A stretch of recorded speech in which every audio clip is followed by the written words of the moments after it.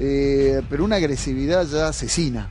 Ya no les interesa nada, van directo a lo físico. Cuando no tienen eh, argumento. Te desean la muerte. Eh, mínimo. A bebé la muerte. Ojalá se muera tu hijo. sí. Eh, ojalá te agarre no sé qué, no sé cuánto. De verdad, una maldad absoluta. Y hay gente que obviamente que se pone mal con él. Yo, mis recomendaciones, no lean nada. Ustedes escriban y no lean. Pero bueno, si vas a leer, sabe que hay muchos que se enojan.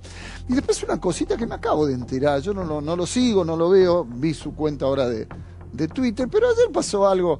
Ayer, no, antes de ayer. ¿Cuándo fue que eh, hablé como ayer? Ayer, ayer, ayer. Ayer, jodiendo, como hago siempre con mis amigos. De- a- después de la excelente, la lindísima noticia de Débora, que va a ser madre, le pregunté a él jodiendo y él me, me a mí me sorprendió con la respuesta. sí, porque estábamos todo. jodiendo y nos sorprendió todo. Y me dijo, sí, me gustaría tener un hijo. Yo le pregunté de qué manera. Y, y me dijo, adoptando. Y nos encantó a todos eso, ¿no? Y hoy, y hoy vi, me mostraron recién que se metió Juan Acosta en este tema desde un punto de vista, la verdad, Juan, te lo quiero decir así, ¿no? No entiendo que si es humor, te quiero decir que no te dedique más al humor, porque indudablemente ya no es lo tuyo.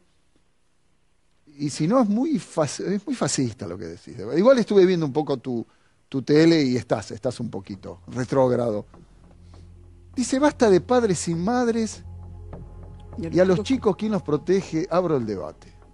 ¿Lo protege de quién? ¿De qué? Claro, los, eh, primero, ¿no? Y lo, ¿Qué es y lo arroba ba- a Dani, digamos. Ahí, ahí- Claro, te hay una- arrobó a vos. Respuesta a la publicación a, a la de nota tu- de, de Ciudad, Ciudad. De ciudad lo subió, todo bien.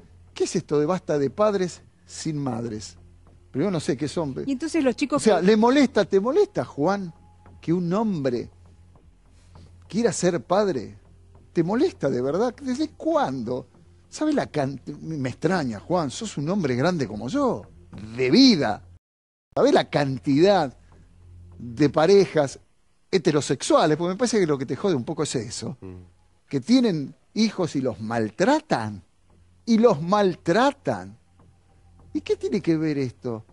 De esto de buscar ser padre. ¿Qué tiene que ver si es padre? O sea, pero te molesta más el padre que la madre soltera. Hay una, ahí, ahí ya hay. O sea, no te molesta Débora, que tomó una decisión de vida muy fuerte, que es, che, quiero ser madre. Este es el momento que quiero ser madre. No estoy en pareja, pero quiero ser madre. Después, si viene la pareja y todo, felicidades, descorchamos champán. Está bien esto. Obvio que está bien.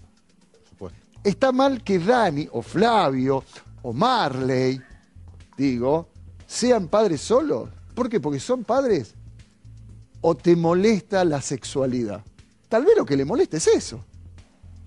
Sí, porque eso de quién los protege. Porque ¿Y los protege madre. de qué? ¿De ¿Los qué? protege ¿De qué? papá? ¿Vos creés que un padre solo, y si es gay, podría, como alguna vez dijo eh, Mirta Legrand, ser proclive a abusar de sus hijos? Porque eso lo dijo Mirta, ¿se acuerdan? sí, se lo ¿Vos dijo tenés Mirta. esa idea, Juan? De verdad, si fue un chiste, te quiero decir que fue un chiste de mal gusto. No, no fue un chiste. No, por el debate, dice. ¿Qué debate?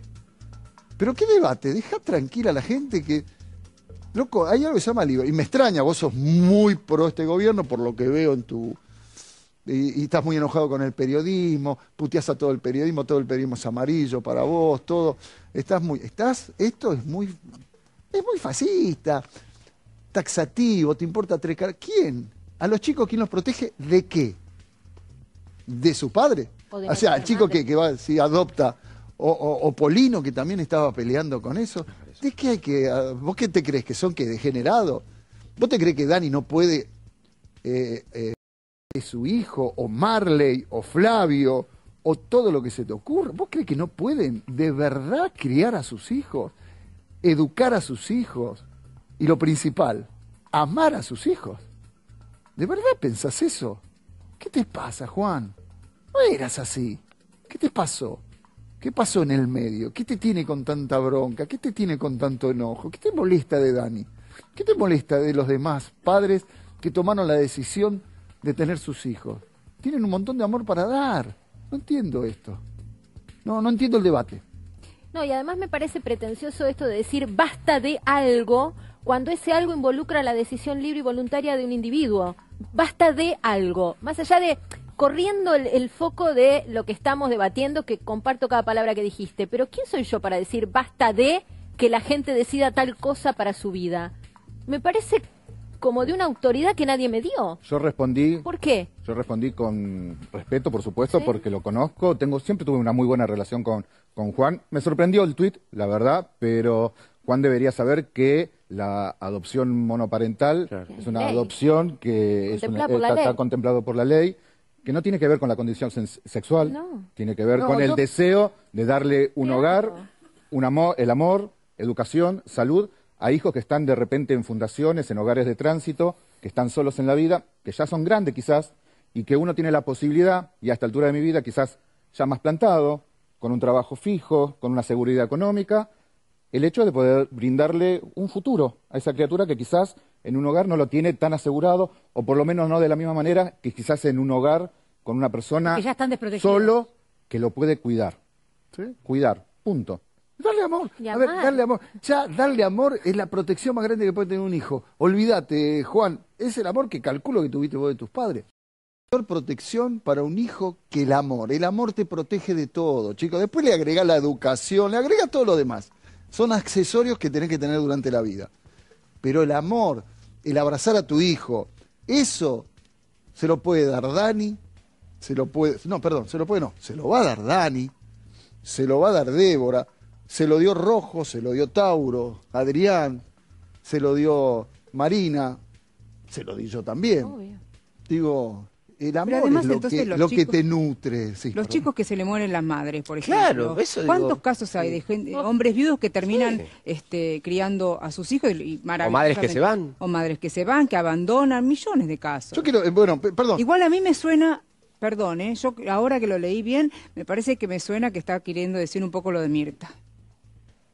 Y yo, ¿eh? pues, a mí se me pasó por la cabeza. A mí se me pasó eso ahora que lo dijiste, porque dije proteger, no dijo otra palabra, no usó otra palabra. Sí. ¿Y cuál es la Sí, falta la figura ¿Qué materna, de podría haber dicho, viste que tal vez ¿Y por uno se pregunta. proteger? Sí, no voy a defender ¿de a un papá no estoy de acuerdo en nada con lo que dice. Yo lo que creo que la palabra protege él Sí. quiso decir quién los cuida en el sentido de este. A ver, Dani, y no es. ¿Quién los cuida de que- que la puedan propasar con no, los chicos? No, dejarlo No, no. solo. A ver, pienso en Dani y adopta. y Dani sale a trabajar todo el día, seguramente lo dejarás con alguien que, que vos, de tu entera confianza. Pero eso, y perdón, vos está- bueno, Damián, está bien, eso me pasa a mí y que Sí, mi hijo Marce, tiene un pero padre. Yo creo ¿qué que, que creo que. Juan Acosta quiere apuntar. A ver, estoy no, te poniendo puedo una postura, no estoy de esto. acuerdo. ¿eh? Te puedo creo decir que algo en quiere esto. ir para ese Damián, lado. No, no. ¿Sabe por qué? Porque es grande e inteligente. Y además tenía 140 caracteres para ponerlo. Lo podía haber puesto cualquier cosa.